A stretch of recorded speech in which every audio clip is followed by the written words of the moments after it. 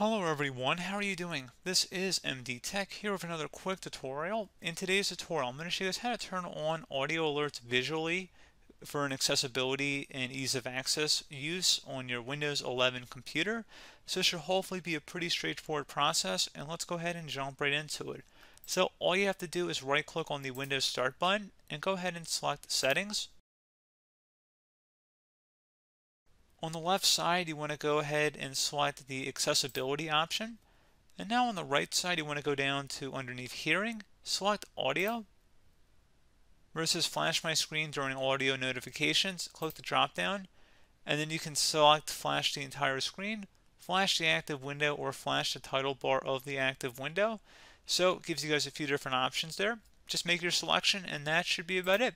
So as always, thank you guys for watching this brief tutorial. Do hope I was able to help you out, and I do look forward to catching you all in the next tutorial. Goodbye.